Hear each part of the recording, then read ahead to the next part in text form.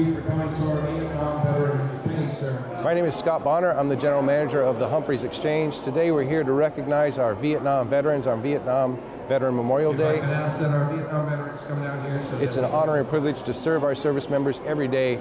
Uh, this is where our heroes shop, and we like to make Humphreys home every single day to our soldiers and their families.